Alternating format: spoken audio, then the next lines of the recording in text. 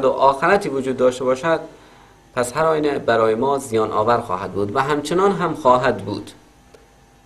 اگر آخرتی وجود داشته باشد که اونها ضرر می‌کنند. ولی اگر نعوذ من ذالک عیاذا بالله آخرتی هم وجود نداشته باشد مذهبی ها ضرر نمی‌کنن از اون طرف خواهران فوقش یک چادر سرشون گذاشتن و بالاخره از این طرف هم برادران یک ریشه گذاشتن.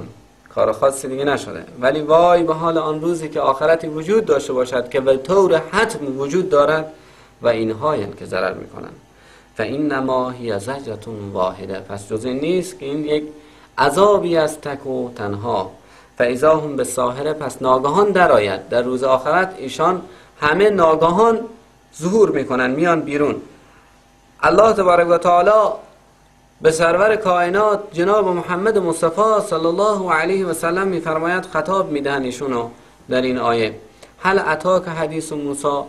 آیا آمده است تو را خبر موسی؟ شنیده ای خبر موسی؟ شنیده می شود که دوستانی از اقصانقات می‌گویند که قرآن نعوذ من ذالک داستان است. یا داستانهای پیشینیان را برای ما ترجمه کرده است. قرآن داستان نیست اساطیر الاولین نیست.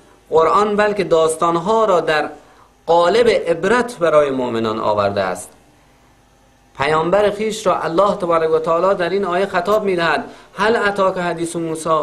آیا آمده است تو را خبر حضرت موسی که موسی چه گذشت و چه شد؟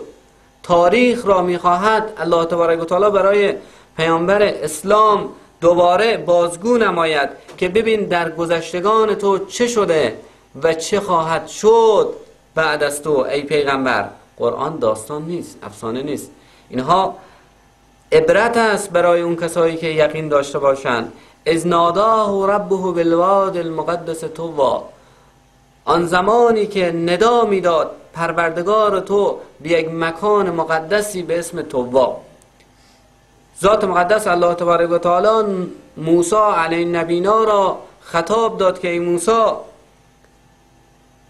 تو پیامبر من هستی. برو به طرف فرعون که فرعون تقیان کرده است. حضرت باری تعالی در مکان مقدسی به اسم توا موسی علیه نبینا را برمیگزیند که ای موسی تو برگزیده من هستی. تو باید بری فرعون و فرعونیان را و بنی اسرائیل را نجات بدهیم. اذهب الى فرعون انه تقا برو به طرف فرعون هر اون تقیان کرده است. فقل هل لك الا ان تزکا پس بگو برای اون آیا تو را میلی به این هست که تسکیه شوی؟ پاک شوی. وحدیه که الى ربک فتخشا و هدایت کنم تو را به سوی پروردگارت. پس بترسی از پروردگار خود. فعراه الایت الکبرى موسی نبینا گفت یا الله من چجوری بروم؟ من که الان چوپانم. با چه سلاحی بروم؟ ذات مقدس الله تبارک و تعالی خطاب می‌دهد به او که ای موسی عصای خود را بیانداز. که وقتی که حضرت موسی نبینا عصای خود را میاندازد عصایشون تبدیل میشه به اجدهار که خود حضرت موسی را وحشت پیش میآید. الله تبارک و تعالی و حضرت موسی نبینا می‌گوید که ای موسی بگیر این اجدهار را. زمانی که این اجدهار رو دستشو به روش می‌ذاره تبدیل میشه پس به عصا. با این معجزه برو به طرف فرعون که هر آین فرعون تقیان کرده است دروغ شمرده است. فکذب و عصا. با این معجزه که الله تبارک و تعالی و حضرت موسی نبینا داده بود موسی علیه نبینا به طرف فرعون سرکش و تقیانگر روان شد. زمانی که این معجزه را نشون داد و معجزه دیگه شون ید بیزا بود فرعونی که اینقدر در قفلت به سر می برد در چند صد سال که این حکومت کرد یک ظرفی از این نشکسته بود و این اینقدر متکبر و تقیانگر شده بود موسی النبینا را دروغ شمرد و نافرمانی کرد. ثم عد بر یسا سپس پشت کرد به حضرت موسی نبینا و بازگشت.